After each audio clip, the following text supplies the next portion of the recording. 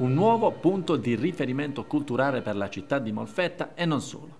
Casa Finocchiaro riapre le porte per ospitare tutto il patrimonio documentario della vita di Beniamino e di sua moglie Elena.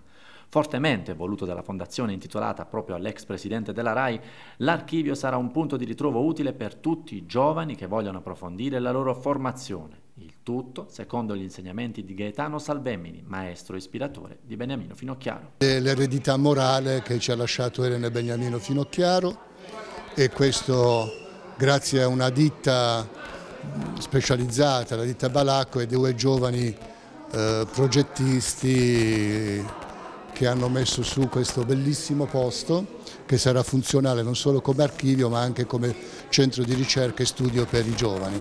Era la volontà di Beniamino, quello di aiutare i giovani a studiare, che è una vecchia tradizione che viene da Gaetano Salvemini e anche in occasione di questo noi ogni anno daremo delle borse di studio importanti eh, quest'anno ne abbiamo date 6 per aiutare i giovani negli studi. 400 faldoni che ripercorrono una strada iniziata negli anni 50 in Consiglio Comunale e proseguita alla Camera dei Deputati, alla guida della Commissione Cultura del PSI, della Regione Puglia, della RAI e della città di Molfetta, fino ad arrivare al periodo da senatore, sottosegretario al Tesoro ed attivissimo studioso dei bilanci pubblici dei grandi del mondo. Un patrimonio importante che racchiude la vita di Finocchiaro e della Prima Repubblica, un ricordo che vive anche nelle parole di Claudio Martelli, storico numero due del PSI di Bettino Craxi. Di cose importanti ne ha fatte, ne ha scritte, ne ha dette molte.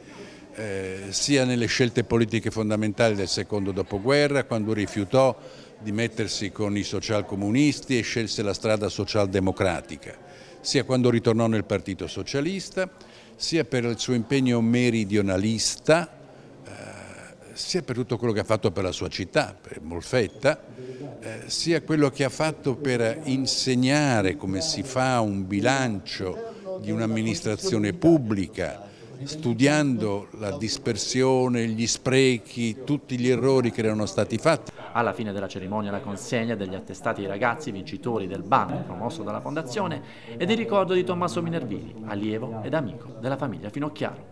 Io ho conosciuto, come ho detto, Beniamino Finocchiaro a 17 anni, quindi l'unica cosa che posso dire è che dove ho cominciato probabilmente li finirò.